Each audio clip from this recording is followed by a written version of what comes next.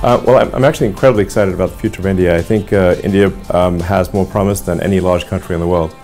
He really cares about India because he's, he's pushing us to make significant investments. I am a fan of Modi, so, so I have to say that.